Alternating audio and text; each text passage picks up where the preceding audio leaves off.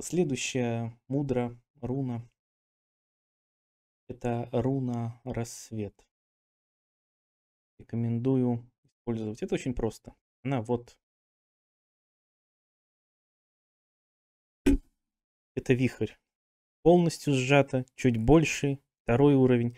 Третий и распрямление вверх идет на сюда и вот.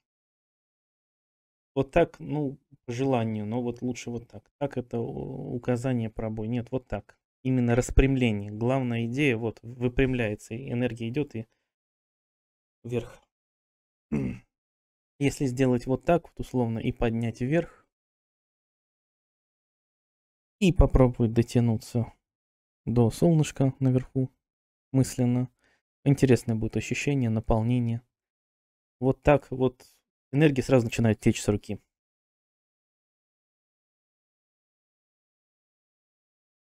Вот лесенка, подъем, рассвет, восход, вихрь. Я привязал к этому еще руну соответствующую, с тем же названием, скажем так, и с тем же функционалом. И это мой подарок вам. Чувствуем.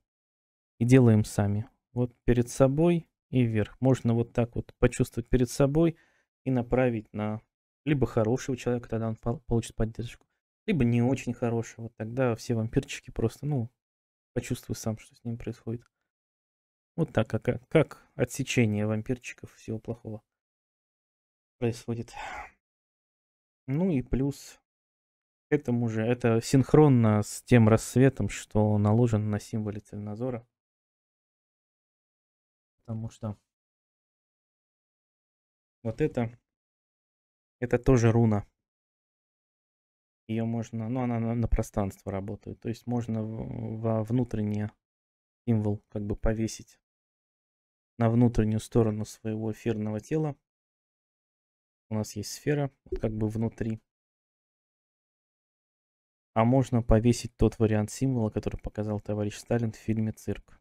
И проделать с собой то, что э, проделано с королевой Роя, с главной героиней там очень хорошая руна, много, сложная, многозначная. И символ там показан в балансе, не в момент запроса информации и обмена информацией с контакта со Вселенной, а просто баланс. А следующий это ключ. Вот то, что показал товарищ Сталин на парашюте, это просто руна-ключ.